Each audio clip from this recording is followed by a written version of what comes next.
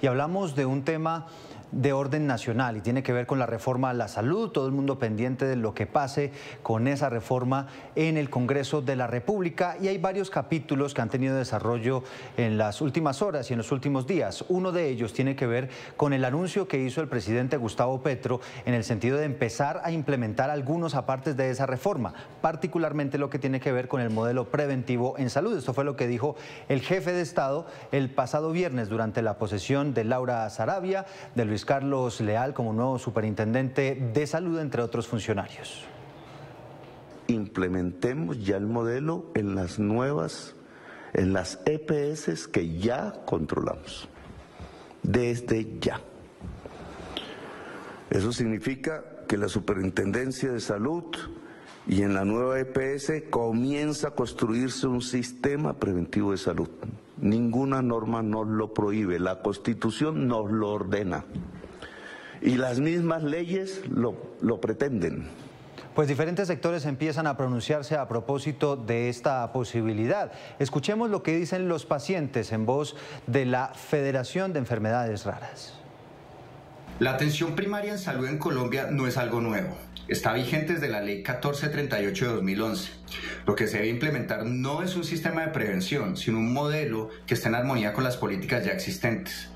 La directriz del presidente Petro lo que demuestra es que la reforma a la salud ha representado un desgaste innecesario para el país, exponiendo a los pacientes, en especial a los más vulnerables, a un retroceso en el sistema de más de 30 años. Esta reforma a la salud no va a resolver las problemáticas existentes, sino que por el contrario las va a complejizar. Este mismo tema se pronunció hace tan solo minutos el secretario de Salud de Bogotá, Gerson Vermont, un poco en el mismo sentido. Yo lo que estoy viendo es que el presidente está reconociendo que se pueden hacer cambios en el modelo de atención con, la, con el sistema actual.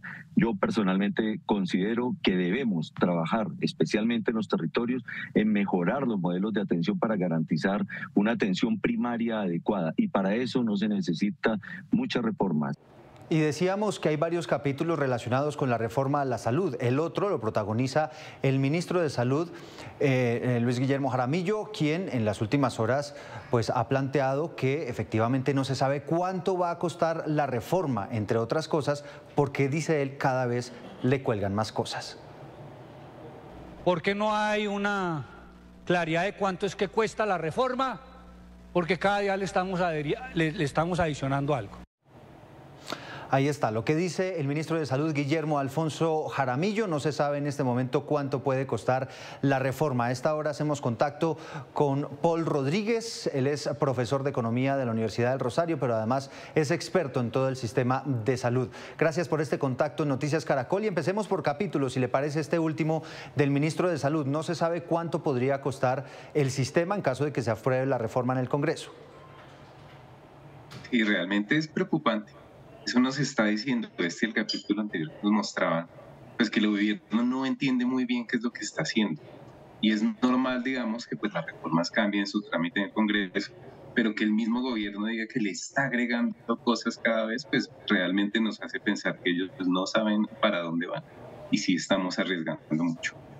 Sí, y dice además el, presidente Gustavo Petro que se pueden empezar a implementar ciertas cosas de esa reforma, como por ejemplo el modelo preventivo. Y dice que en las EPS que están intervenidas por el gobierno e inclusive en las que son públicas, se puede empezar a implementar este modelo preventivo en salud, como ellos, lo han planteado, con médicos yendo, por ejemplo, a las casas y no esperar a que el paciente se enferme. ¿Usted lo ve viable? Digamos, es viable en cierta forma, como mencionaba anteriormente, pues los expertos, las herramientas ya están. Hay un montón de elementos como las guías, mías, de más eh, capacidades que tiene el Estado para intervenir directamente en la accionar del sistema de salud. ¿Por qué estamos entrando en toda esta discusión de las reformas y lo que se quiere hacer ya está disponible? Esa es la gran pregunta que tenemos todos y que ojalá tengan los eh, senadores en estos momentos. Sí, con estos nuevos elementos que surgieron este fin de semana, ¿usted cree que eso podría tener efecto en el debate que se está llevando a cabo en el Congreso? ¿Inclusive podría dificultar las cosas para el gobierno? Esperamos que lleve un debate un poco más eh, directo sobre los elementos claves. El problema real que tiene la reforma es que no soluciona el problema financiero. El problema financiero hoy en día es grave, no hay suficientes recursos y la reforma está en una dirección que va a agravar el problema.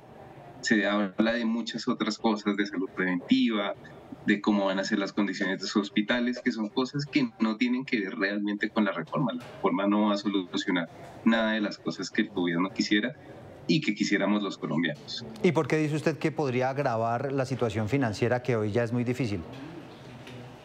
Hoy en día hay un responsable que son las EPS. A las EPS más o menos les podemos echar la culpa de todas las cosas. En el nuevo modelo, en la forma en la que está escrito hoy en día el articulado, no existe un responsable. Están los CAPS que se encargan de un pedazo y luego les ata la pelota a los hospitales y quien paga es un tercero que no audita. Es decir, están hechas todas las cosas necesarias para que el sistema salga mal. No hace mucho vimos el caso de la discusión del presidente sobre lo que ocurría con la salud de los profesores.